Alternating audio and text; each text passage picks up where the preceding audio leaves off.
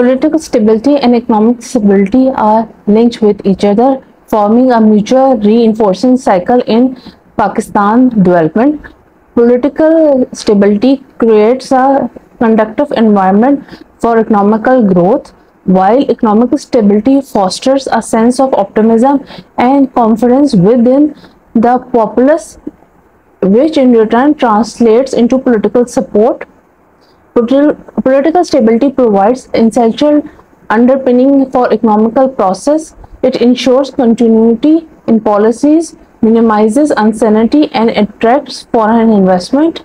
A stable government can implement long-term economical plans without the fear of political un instability while a fragmented and unstable political landscape discourages investors and hampers economical growth.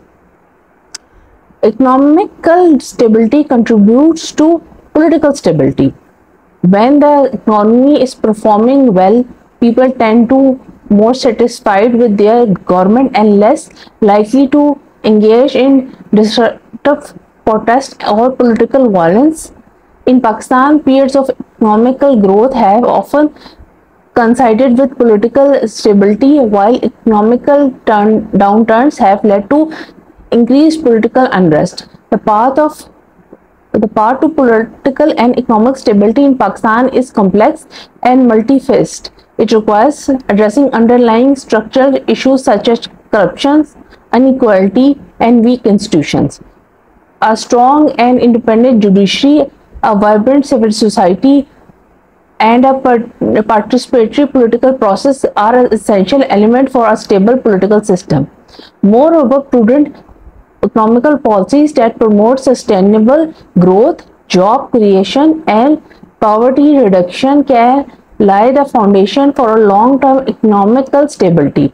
Financial discipline, a favorable instrument climate, and a skilled workforce are the key factors that can contribute to Pakistan's economy and recovery. The relationship between political and economical stability is two-way street. By investing in political stability through reforms and institutional strengthening, Pakistan can create a more favorable environment for economical growth.